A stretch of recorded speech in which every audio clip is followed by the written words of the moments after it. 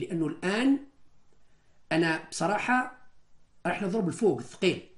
ما نبقاش انت لا غير بالهيشر تاع المواطنين واحد سرق دجاجة واحد سرق بيضة. لا نضرب فوق القضاة والوزراء والجنرات وأي واحد فاسد. هكذا باش نبينوا نية الإصلاح والتطهير بالفعل. حتى نبرهن للشعب أن هناك نية صادقة. نية صادقة لمحاربة الفاسدين. ولإصلاح وتطهير الوضع الفاسد بمباركة الرئيس شخصيا.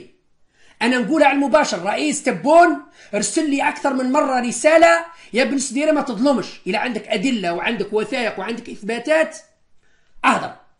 إذا تعلق الأمر ببني خالد عندك عليه ملفات أنشرهم. أنا قالها لي تبون هكذا. قال لي إذا عندك إثبات على خالد بني كش ما دار فساد كش ما حقر كش ما ظلم كش ما سرق كش ما كذا أعطيه. إلا هضرت معاك مانيش راجل. قلت له خلاص كلمة. قلت له كلمة. قال لي توعدني ما تظلمش. بون ما هضرش معايا تبون مش منزوخش أنا نقول لكم هضر معايا. ما هضرش معايا تبون مباشرة.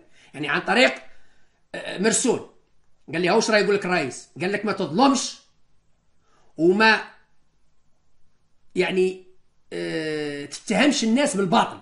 إذا عندك أدلة وعندك إثباتات وعندك شهود أنشر على راك وليكن واحد من أفراد العائلة نتاعي ابني اللي راهم يهضروا عليه يقولوا فاسد اللي عندهم دليل يتفضلوا.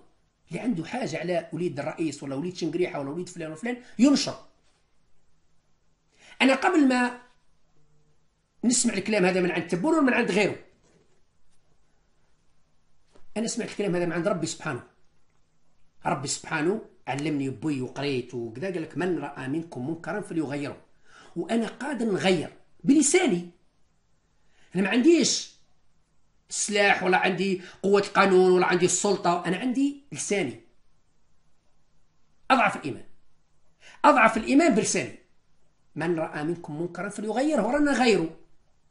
درك إذا كان أصبت. هاو الحمد لله. عندي أجرين. إذا كان أخطأت على الأقل عندي أجر المبادرة النية.